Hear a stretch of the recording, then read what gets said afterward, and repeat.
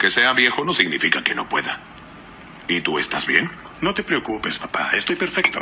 Así es. Y aquí está su vaso. Buen provecho. Ah, buen provecho. Que Dios multiplique esto. Solo puedes beber uno. Así que aprovechalo. Pensé que íbamos a divertirnos. Sí, hijo, divertirnos y también celebrar. Quiero decirte algo. Brindo por Gumus.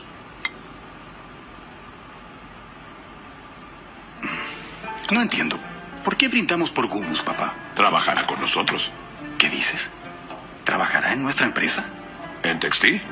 ¿Y qué es lo que hará? ¿Será ejecutiva o algo así? No, hijo. Agregará bordados a mano a la ropa que haremos.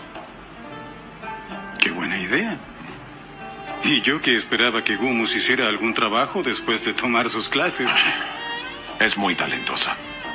Qué bien. Papá, y Seref ya lo sabe.